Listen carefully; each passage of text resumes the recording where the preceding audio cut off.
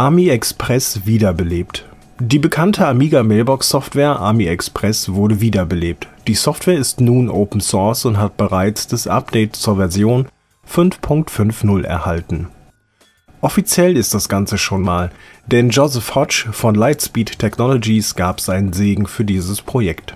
Neueste Features sind unter anderem Unterstützung für Partitionen über 2 GB, die Möglichkeit MB statt nur Bytes in File-Listings darzustellen und viele andere Funktionen, die unterstreichen, dass hier eine moderne Version von Army Express geschaffen werden soll.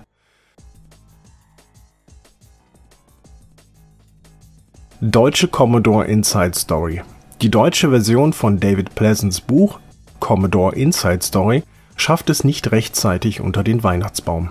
Gründe dafür waren gesundheitlicher Natur. Glücklicherweise sind diese besser geworden. Des Weiteren sind alle Druckereien gegen Ende des Jahres bis zum Anschlag ausgebucht. Innerhalb der EU und der Schweiz wird Alinea Computer den Versand des Buchs übernehmen.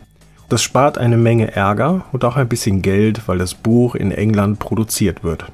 Es wird erwartet, dass der Versand im Februar startet.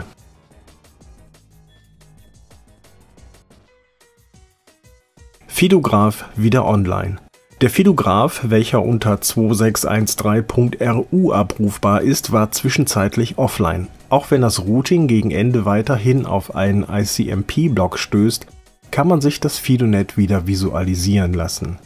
Die neueste Nodeliste ist auch eingelesen. Weshalb der Dienst mehrere Wochen nicht erreichbar war, ist leider unklar.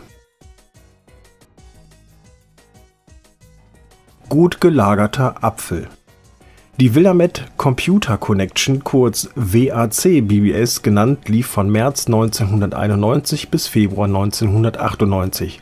Nach 30 Jahren wurde der BBS-Computer wieder aus dem Lager ausgegraben und es stellte sich raus, das Teil läuft noch. Der Sysob Neil Layton hatte natürlich nichts Besseres zu tun, als die Maschine sofort wieder online zu bringen. Wer die Mailbox mit der Software Warp 6 besuchen will, kann dies unter wacbbs.ddns.net auf Port Nummer 6502.